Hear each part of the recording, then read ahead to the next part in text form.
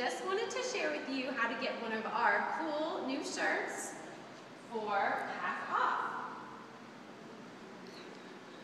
All you have to do, next time you're in, check in on Facebook and share with us a positive experience you've had here. And we'll give you one of our brand new shirts for only $10. You scratch our back, we will put.